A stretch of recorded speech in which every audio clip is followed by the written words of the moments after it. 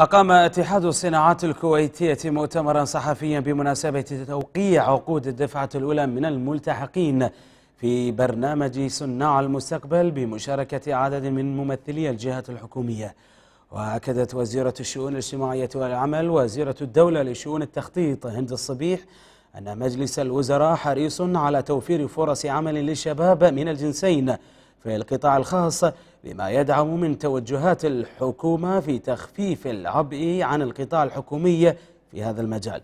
وكشفت الصبية عن تنسيق بين الشؤون ووزارة التجارة لدعم مشروعات الشباب. أنا أتكلم من واقع مسؤوليتي في في مجلس الوزراء أي دعم تحتاجونه في هذا الموضوع أنا حاضرة له. برنامج إعادة الهيكلة اللي أتاحوا الفرصة ودعموا و...